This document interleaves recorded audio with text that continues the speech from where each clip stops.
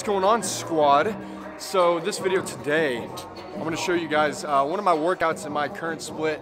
I'm getting a lot of questions recently like, dude, Austin, share your workouts, or what kind of workouts are you currently doing? And uh, well, over the last couple months, I've been working on releasing an online course called Prime Performance, a membership subscription course uh, where the members who join uh, get to do my workouts with me. I'm going to release every program that I've currently written for myself and am running. Um, but I don't want to bore you with that at the beginning of this video. If you want to stay tuned, I have a special offer for everyone watching this video. If you want to try it out for a month and get jacked with me in 2020 and do the same type of training I'm doing. But today um, is going to be one of my more explosive Olympic lift type workouts. I consider it one of my lower body workouts. Um, take it through a warm up. We're gonna do uh, some power cleans today and some other exercises I can't wait to show you. But first things first, I'm gonna put on Olympic shoes. I think that, or sorry, squat shoes. I think they are pretty good to use with Olympic lifts. And we're gonna be doing some front squats as well today. So let's warm up and get to work.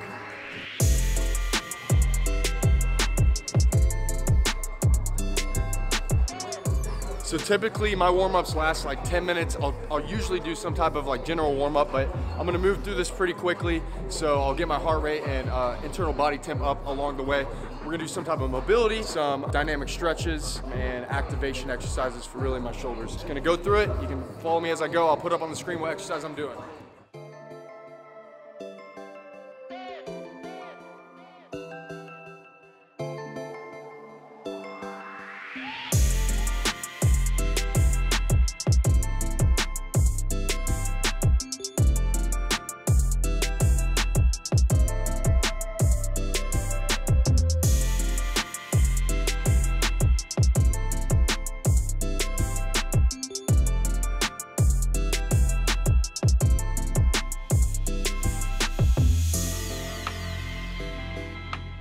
Know a lot of my audience probably doesn't do a lot of Olympic lifting.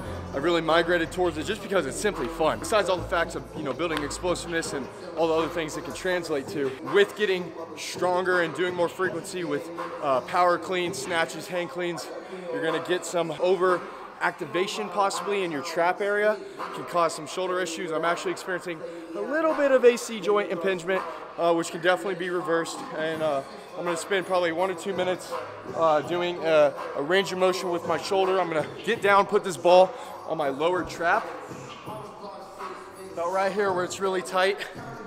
I'm just gonna take my shoulder through shoulder flexion. Oh man, it's painful.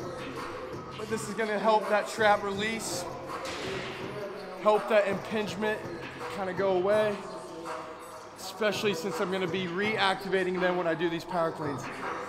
Oh, just kind of move around. If it hurts, that's probably the spot you want it on.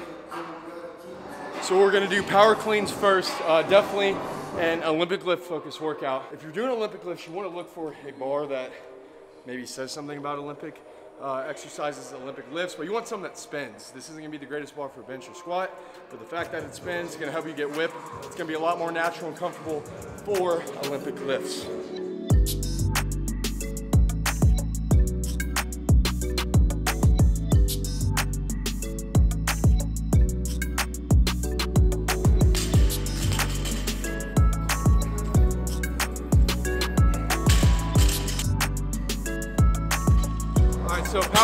First exercise. I got my working weight on the bar right now.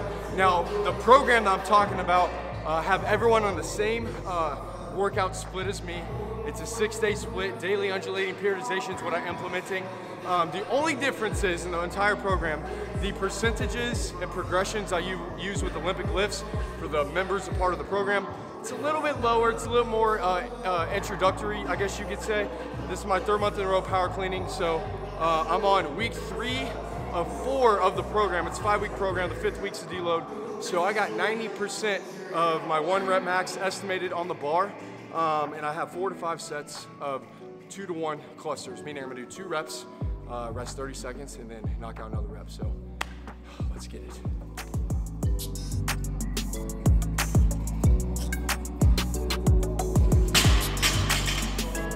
Lacking sleep right now. Here's my excuse. I'm on like five hours of sleep. I really wanted to be able to get these reps without having to squat it. There's nothing wrong with power clean and squat. Actually, if anything, when you test your one rep max, you better be dropping under and squatting it. Technique feels all right. I think I'm gonna get better as each set goes on.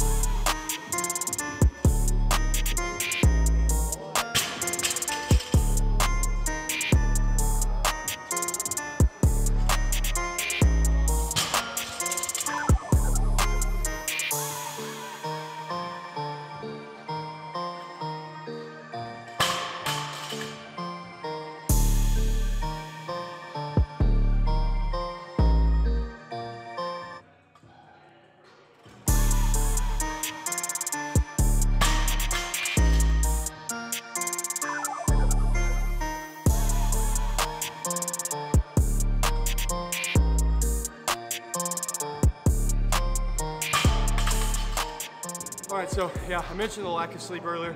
I think it's something you gotta get good at when it comes to working out. You know, fatigue management is actually a thing, and, and there's so many factors that actually like will dictate, you know, your stress levels, your energy levels. Sleep is a big part of that. So I am scheduled to do one more set at 90% for the cluster of two to one. Instead, I'm going to go to my back off percentage, which is 80%. I have a three sets of three, but I'm just gonna add another set to that and do four sets of three, because I know this percentage is uh, gonna allow me to at least focus on my technique a little bit. It doesn't feel up to par, didn't feel terrible, but I will definitely make sure next week for my peak week, uh, when I do test my one rep max, that uh, I'm definitely rested and ready to go for that.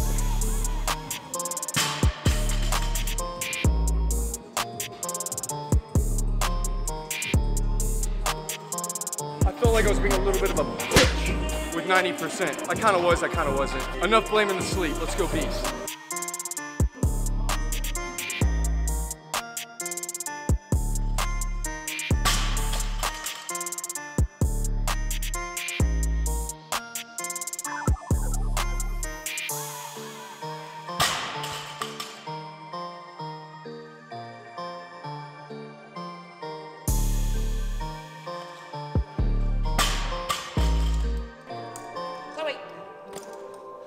Front squats, next exercise.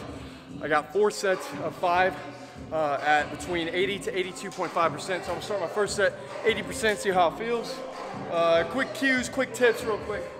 Gotta get that good front rack position. A lot of people like, oh, my wrist hurt. Front squats hurt my wrist. I think it comes down to two things. One, you gotta have good thoracic mobility, extension, which is what I was doing during my warm up. And two, this gotta be in your fingertips. You gotta get a good front rack position. Look at the difference here if I'm not reaching out with my elbows, my shoulder blades are kind of squeezed.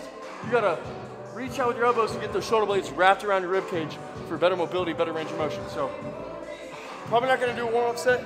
Legs are pretty warm, I feel pretty good. We're gonna jump into it.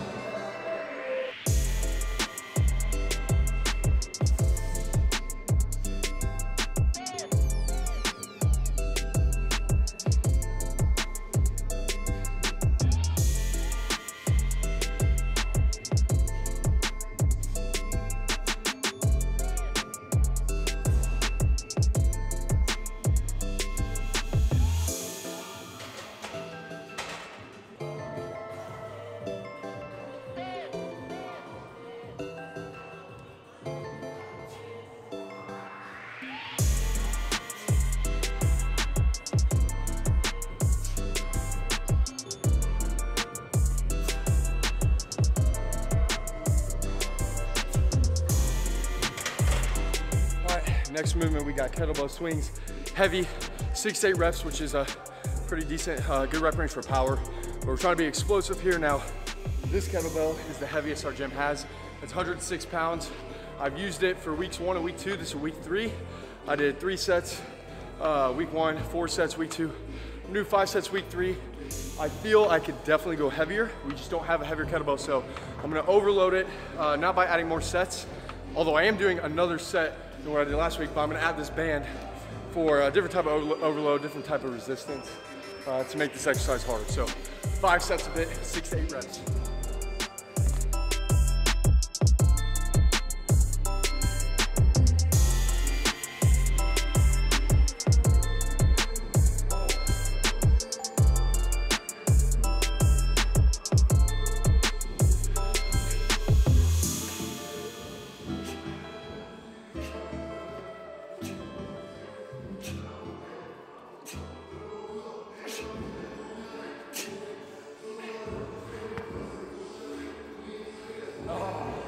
Right, last exercise we're doing, Pallof walkouts. I'm sure you've probably heard of a Pallof press. We're gonna be in a Pallof press uh, position, extended with our arms. I like, here, let me just show you, come over here. hook up a handle. We want it about chest, lower chest to rib cage high. Probably put it right here. Um, and what you're gonna do, extend out with your arms. I like to be in a little bit more upright position because I think it works more of the hips, trunk, and core kind of in coordination with each other um, rather than being more of a squat position. So I'm gonna be pretty upright, slight bend of my knees, hands out. My goal is to do three shuffles out, three shuffles back. That's one rep. We're gonna do that three times. And my goal is to not let this weight move this way. So I wanna keep it in front of me using uh, ro uh, rotary stability muscles in our core. This is gonna help us with our bracing abilities when we're uh, lifting those big, heavy compound movements, okay? So five sets, three shuffles um, per side. A little bonus tip, I'm going to put this hip band around my shins so I can work my glute medius, kind of kill two birds with one stone. You don't have to do that, but that's what I'm gonna do.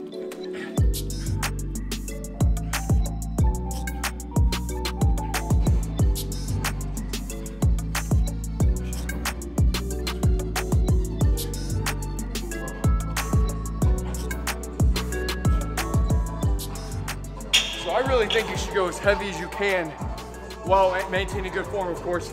Your core, for it to make adaptations, uh, you're gonna have to really shock it. I mean, we use our core for so many other exercises. If we really want to improve its stability and core strength, use a weight that's gonna actually fucking challenge it.